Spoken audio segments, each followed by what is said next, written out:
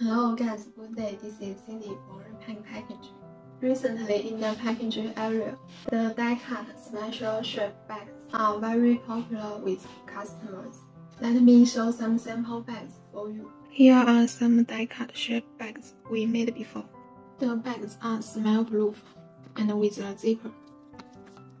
The unique appearance is more attractive to customers, making the foil in the bags keep the products fresh.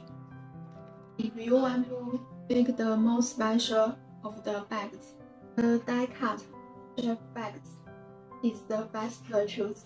Thanks for your watching. Bye bye.